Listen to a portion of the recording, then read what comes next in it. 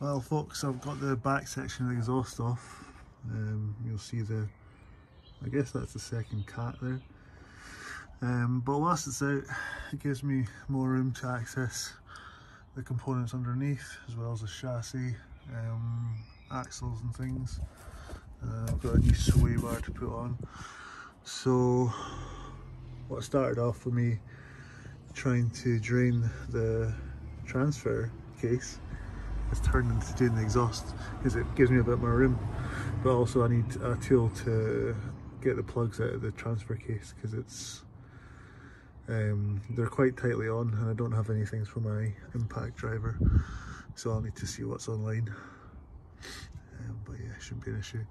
I need to get some new, uh, new rubbers for the exhaust but look at this man it's if I hadn't if I hadn't been working on this this would have just totally rotted away I, I can imagine this car would have just been yeah I don't know could have been the end of it it's pretty borderline it, it was it, like you leave this any longer and you're into serious trouble so um, ideally I could replace the whole rear axle because it's it's pretty crusty but right now I'm just going to do my best to clean it up. This is what happens when you do side hustles. More boxes than there is box holes. It's all a big nothing. What makes you think you're so special? Got a nice new exhaust here, both sections. So I'll be fitting them after I clean up the um, the underside and fix some bits and pieces. Alright, I've taken the front seats out. I've already taken the back seats out because I don't really want them. I need space for dogs. And yeah, I've got these bucket seats that I bought, um, but they've got slightly different mounts. Uh, the seat mounts onto here, here, here, and here. And what I'm going to do is basically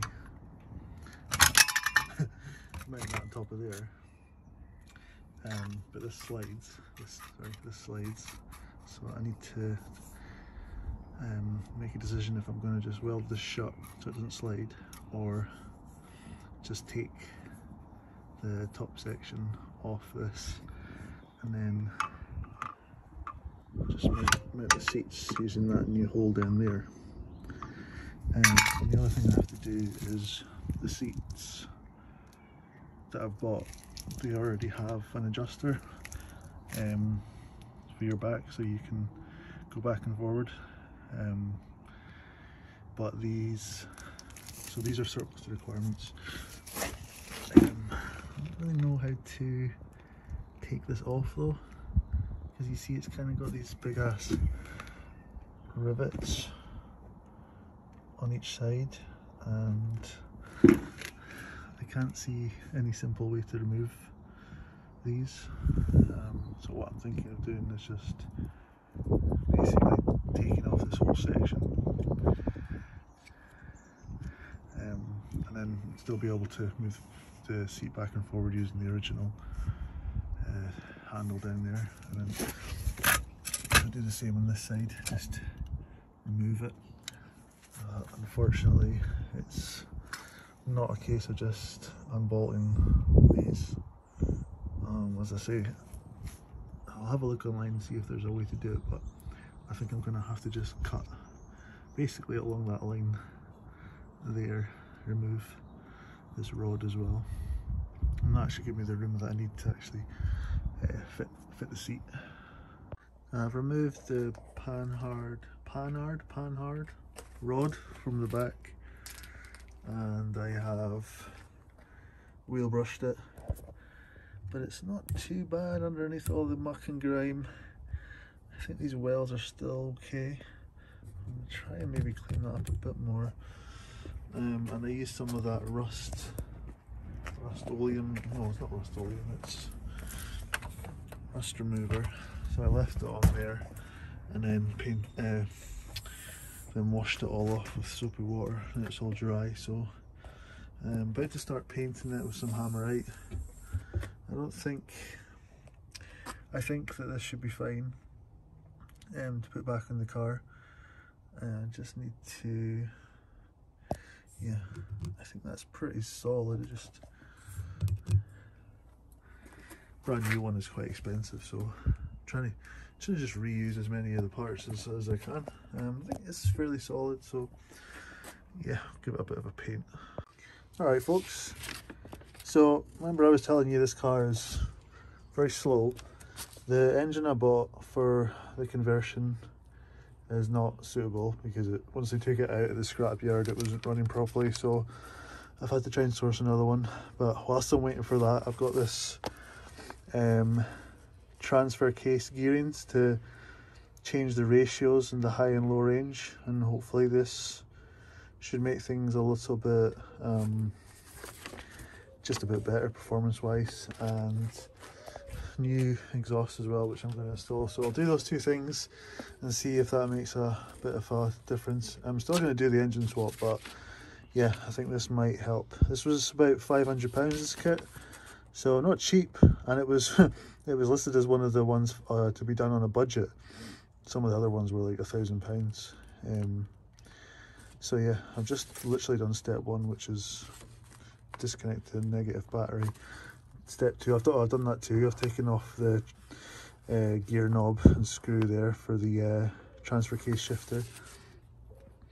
Um, so now I need to lift up the front end of the vehicle and put it on jack stands. So that's what I'm going to do just now. Alright folks, check this out. Got an engine stand. Two ton engine stand. Putting it together just now. Going to use it for stuff and uh, yeah Jimny engine got cancelled because it wasn't working so I've had to buy another one. Um, but I bought this on an impulse so putting it together I've got no room for it obviously but yeah don't care. Wanted it bought it. Look at this. Beautiful. Takes up this whole space that I've got to work with. But uh, yeah don't care. Two ton damn solid. Wheels. And you can fold up these legs so I can probably put it in a corner afterwards. Um, yeah. I'll just hang myself with this if it doesn't work. So I kind of just managed to get it folded up in this corner here so it can just sit there for just now. I was going to use this to jack up the front of the car just hoist up the engine but uh, ended up with the, with the jacks and then once I had them in there was no room for the legs. By the way, bought myself another project car. Look at this. This will be on my second playlist. ST200. Sounds so good. Um, got a lot of bits and pieces that I've already ordered for this one. But it's got a full stainless exhaust. Sounds freaking mean. There's only 240 of these left in the roads of the UK, so getting rare six, baby. Yeah, love it. Love it. So that'll be on my other channel, my other playlist soon. Good morning, welcome back to headquarters. We are currently trying to remove the old uh, transfer box. So um, the transfer box has this bracket and bracket over there, which I think I showed you before anyway. So you have to remove this point, uh, this point, and just above the exhaust there. So I'm replacing the exhaust anyway, so it's actually giving me a bit more room, which is quite good. Um, right now I've got it supported on my transmission stand, and I'm just trying to take off these, which were very, very tight. So I'm just doing one by one. Put some WD-40 on it, left it for a bit, and it seems to be not too bad. So um, Got these blocks from B&Q so that my vital organs are protected if it falls off the jack stands. But I didn't buy enough. So if I'm at the rear of the car, I will die. I think I should be okay. um, famous last words. And um, yeah, so hopefully I can get it out today and begin the process of replacing all the gear. Well, taking it apart will be the first thing, but yeah, so that's what I'm doing. Cheers. Right, got the four nuts out, bolts out uh, even, and uh, just had to give the drive shaft a couple of taps with a hammer, a bit more WD-40, and came away, just giving it supported on there with a bungee tie thing, just to stop it um, hitting off the floor and putting pressure on this CV joint or whatever it's called. So next step is do the same sort of thing on the other side. Um, put a little bit of WD-40 on there, uh, free it off, and um, hopefully it'll be free to take out after that. Um, although I'll need to try and navigate my way around these uh, supports for the brackets. Um, but yeah, progress. Alright folks, it's out. Um, bit tricky to get out the mounting bolts on the driver's side.